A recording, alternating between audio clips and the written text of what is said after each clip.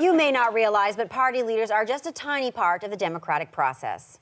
And that is why we'd like to take a moment to salute the brave men and women who take a day out of their schedules every four years to work at the nation's polling stations. That's right.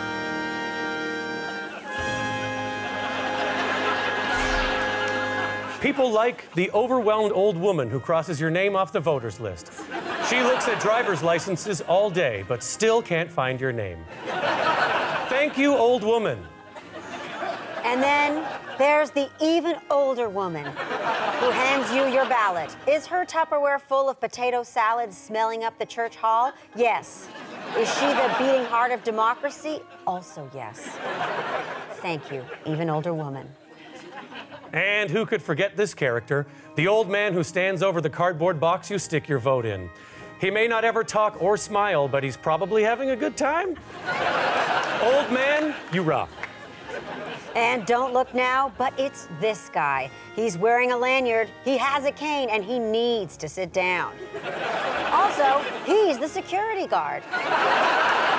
Thank you for safeguarding our democracy. And finally, we have this woman. At 47, she's the youngest person working the polling station by far.